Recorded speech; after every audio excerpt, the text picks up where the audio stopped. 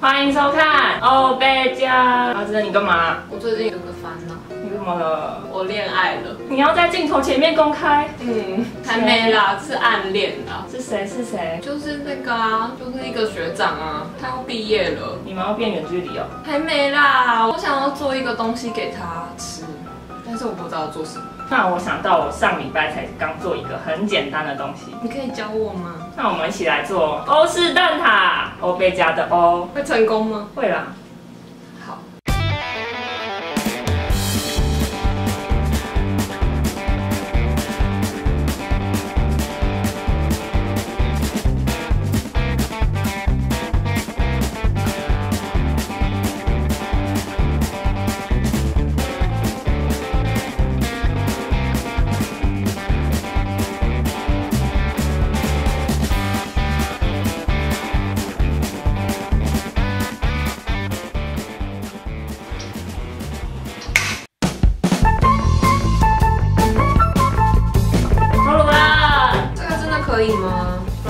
它长那么可爱，我试试看。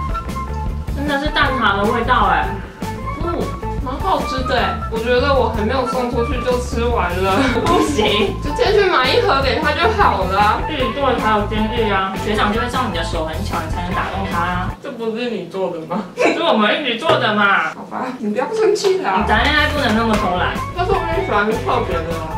干嘛学这个？都是也是，我觉得它的那个里面的那个跟蛋挞真的有像，而且它的那个皮呀、虽然比较不脆，可是就炸起来蛮好吃的。而且热量会比真正的蛋挞低。嗯，跟不错，我觉得我应该会成功哦。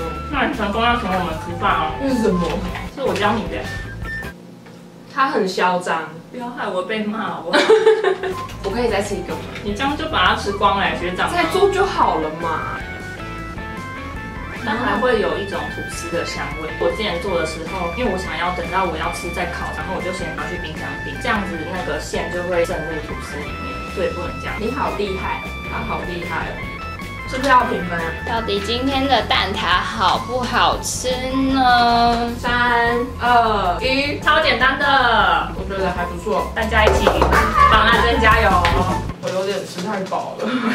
大家觉得我会成功吗？会的话就按喜欢，会就按喜欢，不会的话也按喜欢。就是要祝福他成功，所以要按喜欢，结果根本没有那个学长。先学起来。好好好，要记得订阅哦。